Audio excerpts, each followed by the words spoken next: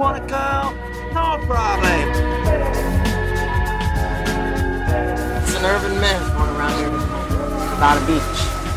Perfection. But too much sensation. I try to keep it under control, but it just keeps spilling it.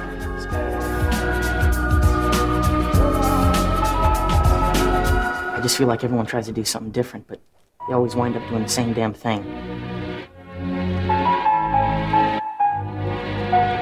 Totally secure. Totally forbidden. Do you believe in that place?